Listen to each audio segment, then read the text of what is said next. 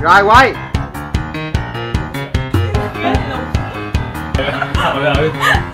Cho nó chút từ dưới lên đó để vào đâu nhái.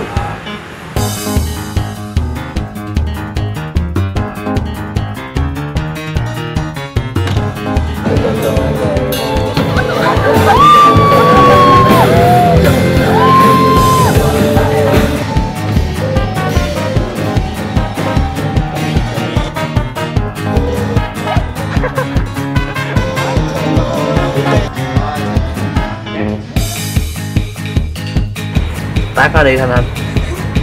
Thôi lên lên gối ăn bảo đi.